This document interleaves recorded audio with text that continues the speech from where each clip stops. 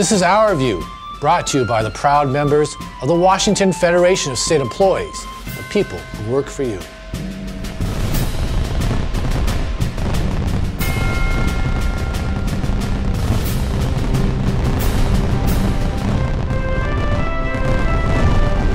Once again, the Washington legislature, led by the Senate majority, did not finish its work on time and dragged out the budget portion of their task.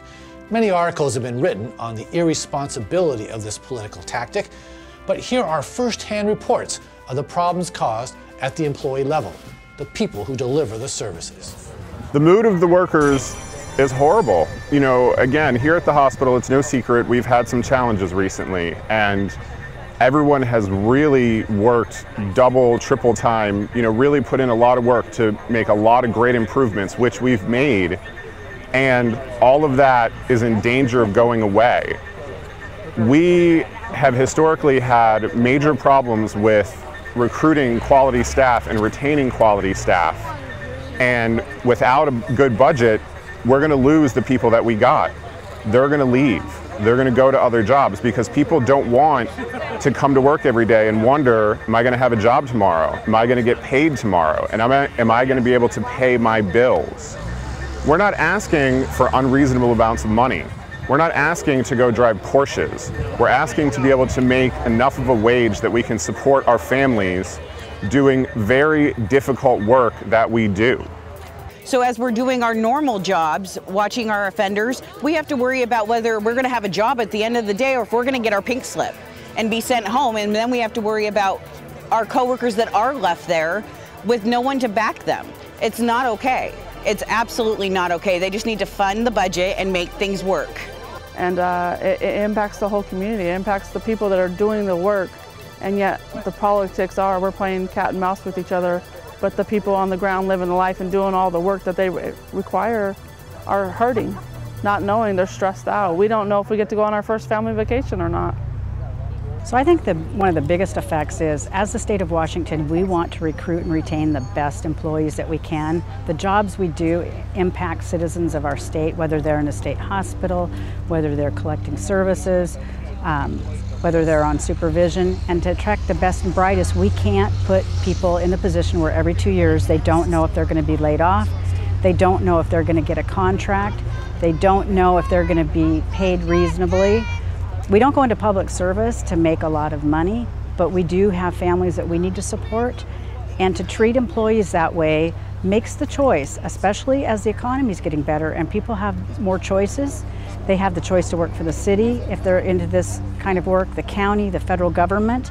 And we're the only agency in the state of Washington right now that is doing this to employees consistently every two years. So if we want to retract, attract, retain, and keep really talented people, we have to not treat them that way. And it's a terrible way to treat employees that are doing, interestingly, what the legislature has asked us to do. We implement the legislation that they pass, and they're not treating us like a partner, they're not treating us as valued employees, and state employees deserve better, the citizens of Washington deserve better.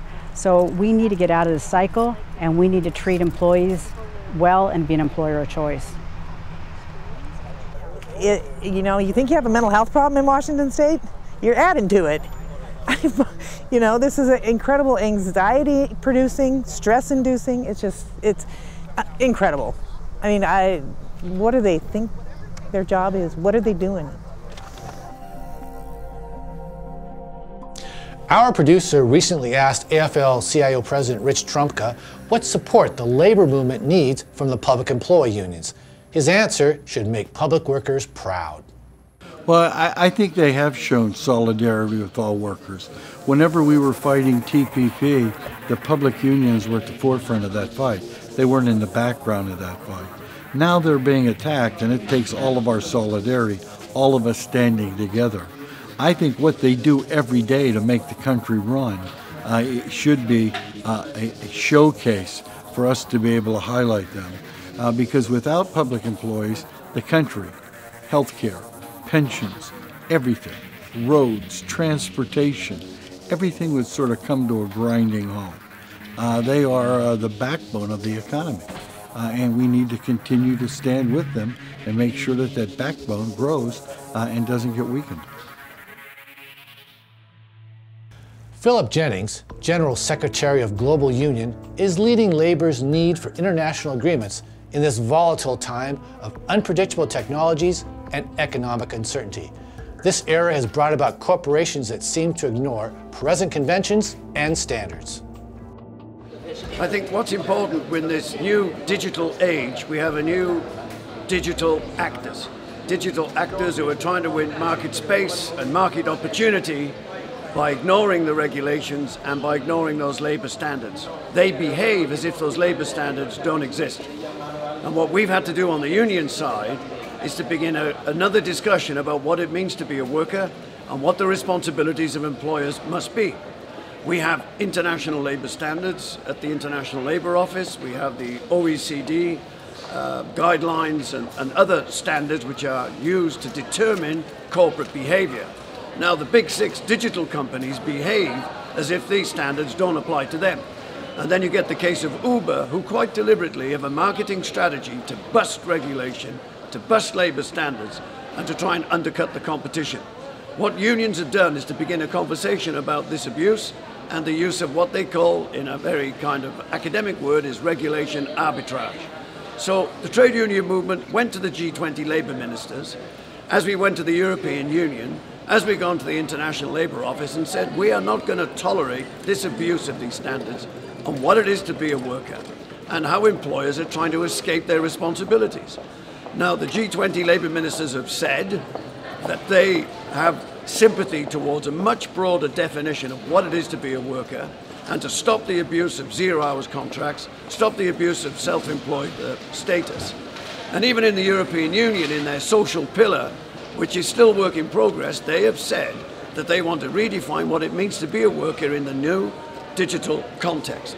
So, what does that mean? These standards are universal, they are global, they apply to you whether you're in a legacy industry or a, or, or a business that's been around a long time.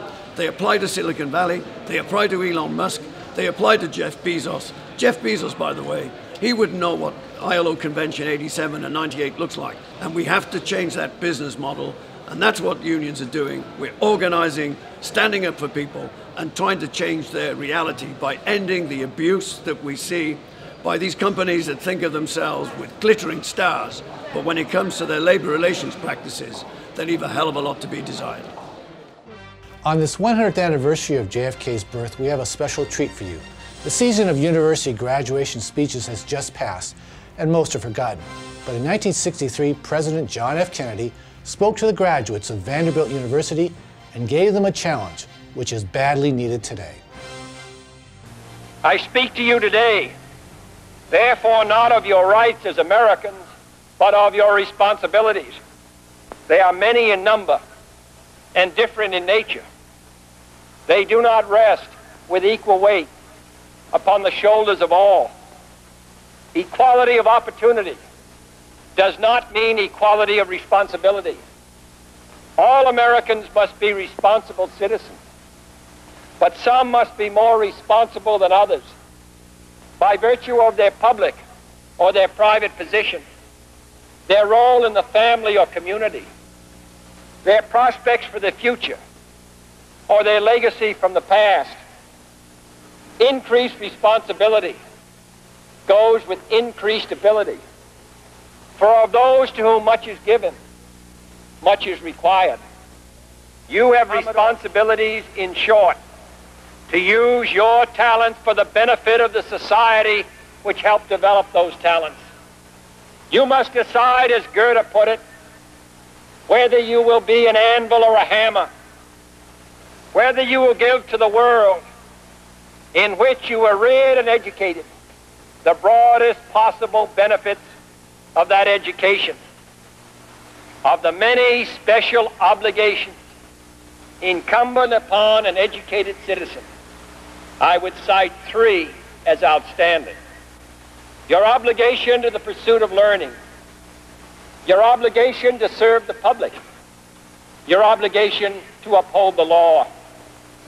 If the pursuit of learning is not defended by the educated citizen, it will not be defended at all. For there will always be those who scoff at intellectuals, who cry out against research, who seek to limit our educational system.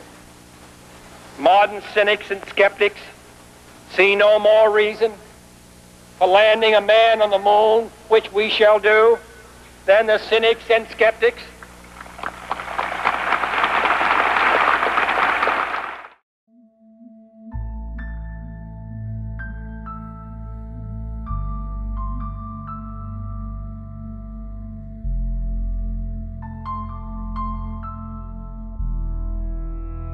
We are the United State of Women. The United State of Women. The United State of Women. And when we do better, everyone does better.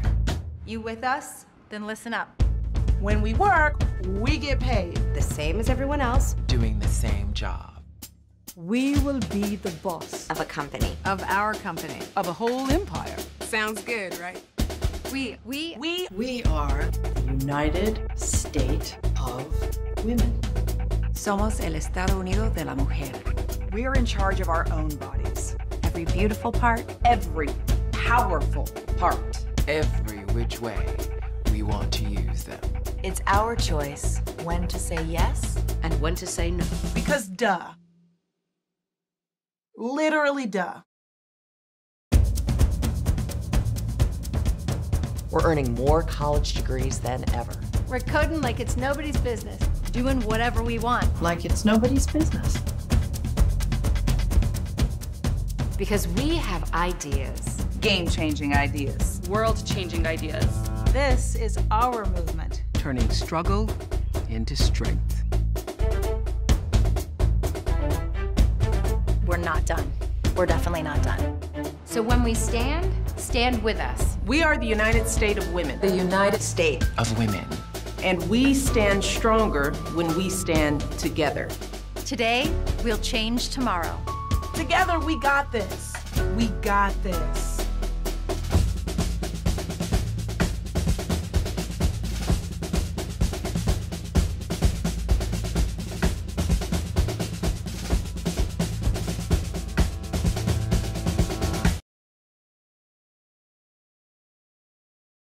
This has been Our View, brought to you by the members of the Washington Federation of State Employees. We remind you, when you accept a paycheck for your hard work, you don't give up your rights. Thank you for watching, and we'll see you next month. But the educated citizen knows how much more there is to know. He knows that knowledge is power, more so today than ever before. He knows that only an educated and informed people will be a free people. That the ignorance of one voter in a democracy impairs the security of all. And that if we can, as Jefferson put it, enlighten the people generally, tyranny and the oppressions of mind and body will vanish like evil spirits at the dawn of day. And therefore, the educated citizen has a special obligation to encourage the pursuit of learning, to promote exploration of the unknown, to preserve the freedom of inquiry, to support the advancement of research, and to assist at every level of government the improvement of education for all Americans, from grade school to graduate school. Secondly, the educated citizen has an obligation to serve the public. He may be a precinct worker or president. He may give his talents at the courthouse, the state house, the White House. He may be a civil servant or a senator, a candidate or a campaign worker, a winner or a loser. But he must be a participant and not a spectator.